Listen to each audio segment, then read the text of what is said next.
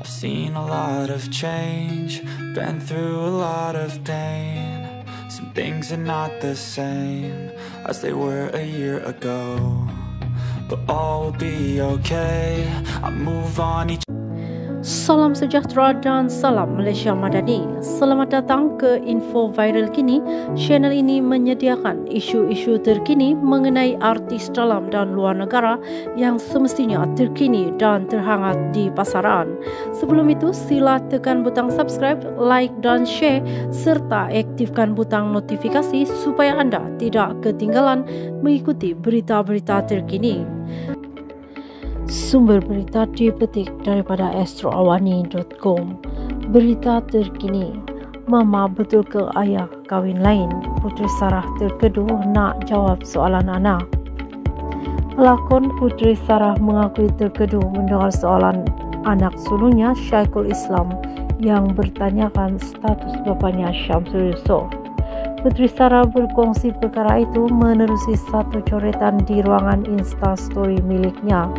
Coretan itu juga mendedahkan bahawa Syaikul turut bertanyakan sama ada bapa mereka memiliki individu lain dalam kehidupannya. Baru balik daripada photoshoot sampai-sampai rumah Syaikul Asmi, Mama betul ke ayah kahwin lain? Sebab tu ke ayah dah lama tak balik rumah, kenapa ayah ada orang lain? How do you answer to a six years old old boy? I'm speechless tulisnya. Dalam hantaran yang sama juga, Putri Sarah turut memberi nasihat kepada lelaki di luar sana yang terfikir tentang poligami. Kepada lelaki-lelaki selfish di luar sana tu, isteri nak kena jawab apa kat anak-anak kecil ni. Nak kata ayah kahwin sebab nak elak maksiat. Ayah ikut suruhan Allah like how you answered in the video.